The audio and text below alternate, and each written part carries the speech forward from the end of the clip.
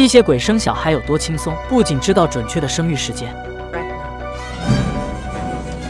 随后立刻被推进产房，而且丝毫感受不到痛苦。这边医生正忙着接生，准备用钳子辅助生产，结果宠物手竟然帮忙递了过去，吓得护士惊声尖叫，一下子把他甩飞到了另一个产房，手掌啪的一声拍在了新生儿的屁股上。医生举起的手还未落下，小孩已经哇哇大哭。就在小两口还在卿卿我我时，孩子出生了。半天不到的时间，有着悠久历史的亚当斯家族就又添了一员。推开他们为小宝宝准备的房间，一推门就看见象征着恶魔的山羊和秃鹫壁画，还有栩栩如生的鲨鱼图像在墙上露出尖牙，用匕首做成的风铃，以及和小型棺材一样的摇篮床，在这个家里一点也不突兀。同样惊悚的还有他们的儿子，刚出生就长出了八字胡，皮肤煞白，嘴唇嫣红，头发暗黑，全然一副清朝僵尸的模样。这孩子的父母一定不是普通人。他的爸爸亚当斯是个亿万富翁，妈妈是个千年吸血鬼，姐姐从来不笑，哥哥一脸睿智，两人都对谋杀有着极高的天赋和兴趣，更别说他俩还听说在这家族，如果生了第三胎，那么前两胎台中就有一个活不下去。于是为了生存下去，二人果断先下手为强。他们抱着弟弟登上楼顶，将八斤重的铁球和四斤重的弟弟一起扔下去，想要验证谁先着地。伽利略看了直呼内行。话音刚落，铁球和弟弟一起被扔了下去。幸好父亲听到动静，开窗向外看，正好接住了弟弟，而铁球则砸到了正在工作中的园丁。意识到老大老二心里可能有些不平衡，父母终于意识到了孩子们的问题，召开了一场家庭会议。大伯菲斯特认为，只是孩子之间正常的争宠而已，他们兄弟小的时候也是如此。说着就亲身演示了手足情深。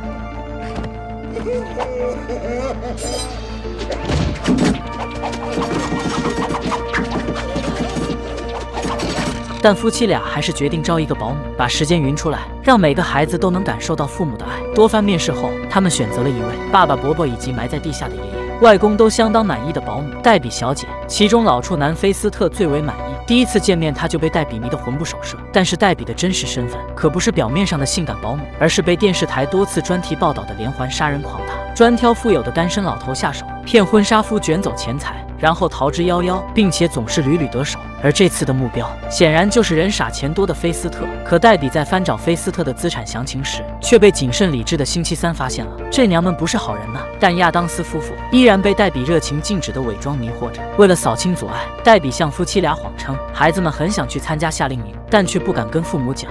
Don't even mention it. Just do it. Sure, they'll deny everything, but they want to go.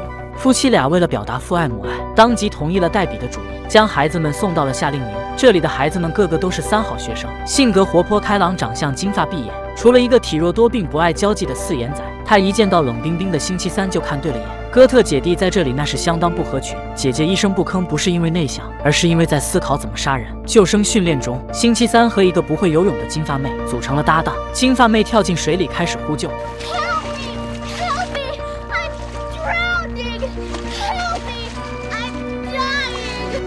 I can't swim。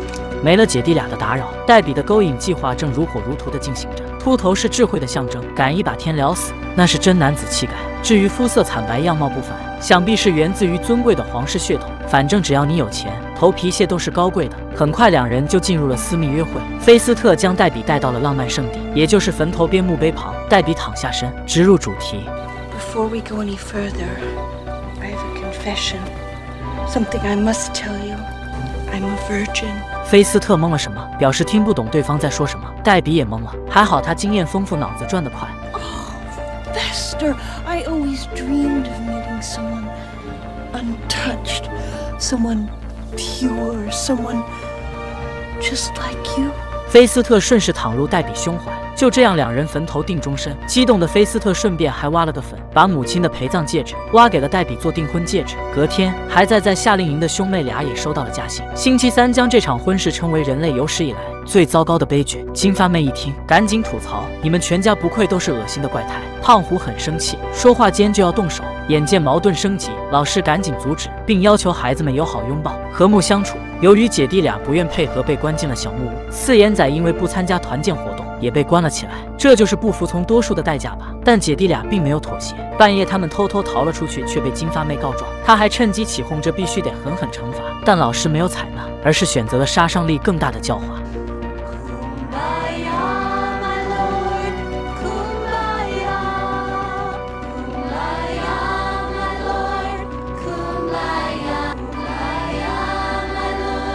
兄妹俩觉得比被打还要难受，但为了能回家，也只能忍了。得到回家许可后，星期三还邀请四眼仔同去。在一个阴气浓郁的月圆之夜，亲朋好友齐聚墓地，在长毛怪神父的组织下，菲斯特与黛比结为夫妇。婚礼结束后，他们前往夏威夷蜜月旅行。黛比的杀夫计划也到了执行的时候。菲斯特在大浴缸里洗香香，黛比巧笑盈盈地拿起电器，千娇百媚。忽而脸色骤变，痛下杀手。可没想到菲斯特不怕电击火烧，还给了他一个惊喜。黛比傻眼了，不过很快他就想到了对策，用身子威胁菲斯特永远不能再见亲人，否则就别想碰他。菲斯特久旱多年，完全挡不住诱惑，任由黛比摆布。黛比有了足够的时间考虑如何谋杀亲夫。家人很快就收到了菲斯特的永别信。亚当斯是一家，也是最看重亲人关系的一家人。高摩子一时无法相信，他与妻子登门造访。是要眼见为实，但菲斯特正沉迷在黛比的大波里，无法自拔，一狠心赶走了兄弟。高魔子悲痛欲绝。更糟糕的是，刚出生的老三生病了，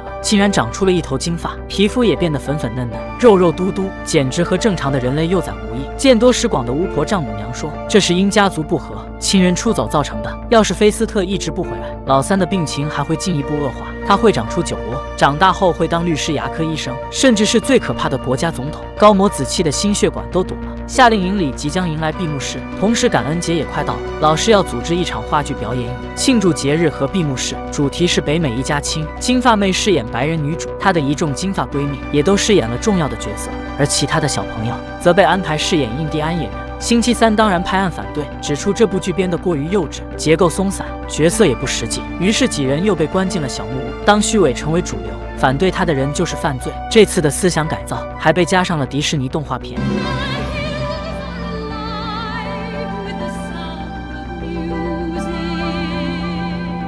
经历了一晚上的头脑欲裂后，星期三崩溃的投降了，费尽毕生演技展示了一张示好的笑脸。但星期三并不是真的屈服了。演出开始后，星期三果断反水，自改剧情，拒绝可笑的北美一家亲，陈述白人侵略者的狠辣无耻、贪得无厌，并带领印第安残部开启了迟到的复仇，以牙还牙，以血还血，把夏令营闹成了世界末日。星期三与四眼彩也因此结下了一段革命友谊。深吻过后，两人依依惜别。因为星期三还要赶着回家营救大伯菲斯特。此时的黛比在琢磨了多日的谋杀亲夫后，终于搞出了一颗巨量 TNT 炸弹，以生日礼物的方式送给了菲斯特。可万万没想到，还是失败了。黛比终于忍无可忍，掏出手枪，直接摊牌了杀夫计划。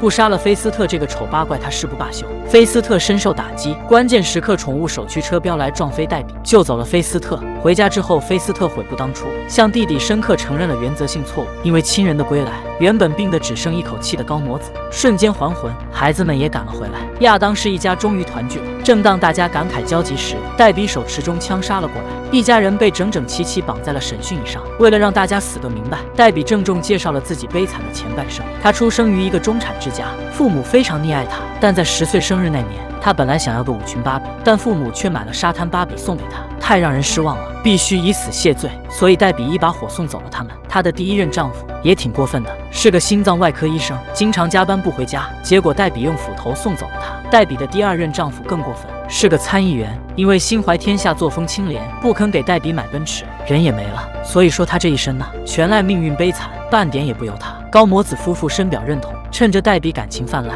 菲斯特赶紧求情，能不能把亲人都放了，只杀自己就行。黛比当然不敢，你们全家都得上路。不过亚当斯一家那可是个个身怀绝技，正在大厅玩推车的老三突然被抖到一块跷跷板上。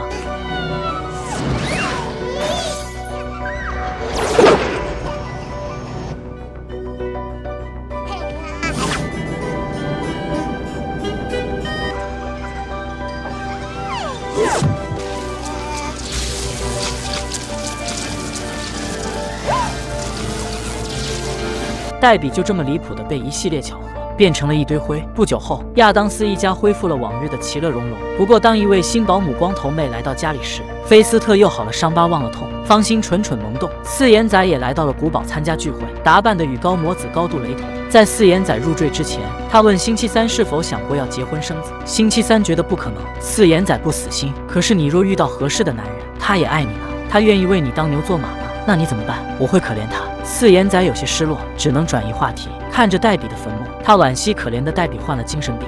She wasn't sick. She was sloppy. What do you mean? If I wanted to kill my husband, I'd do it. And I wouldn't get caught. How? I'd scare him to death. No, you wouldn't. We're all very sorry, Debbie. We wish you only the best. 亚当斯一家的价值观于一九九三年上映的作品，这是一部典型的哥特电影。提起哥特电影，不少影迷都会想起《剪刀手爱德华》，它是为数不多的被大众认可的哥特风电影，因其怪异的风格。夸张的造型与唯美的剧情让不少观众印象深刻，同时又似懂非懂。说白了，哥特斯电影其实就是魔幻现实主义电影，它用于由现实托起的故事背景，来隐晦地表达对现实世界的某种批判、调侃或是讽刺。再通俗一点，你也可以带入《西游记》《聊斋志异》这样的鬼神故事，在脱离现实的故事框架下，创造着可以更隐秘、更自由、更夸张的表达观点。你可以把它纯粹的当成一个离奇故事来看，也可以解析出更多隐秘的含义。从这一点来说，亚当斯一家的价值观就是一部讽刺喜剧，讽刺循规蹈矩，讽刺主流文化。亚当斯德家族认为，当人类是最糟糕的，为他人做贡献是最虚伪的，小孩子是有坏心眼的，女人们是不知足的，童话是鬼都不信的，结婚生子是很可怜的。电影在嬉笑之中打破了很多固有的主流思维，让观众能够在现实中放松一下现实里的紧箍咒。那么，亚当斯一家的价值观究竟是什么呢？对于这个问题，导演给出的答案是家庭和睦。那些找各种借口疏离破散的家庭，都应该学学亚当斯一家，一家人嘛，就要整整齐齐的在一起。无论他是个蠢蛋还是个混蛋，亦或是爱捣蛋，家庭不和那是人类才会干的蠢事。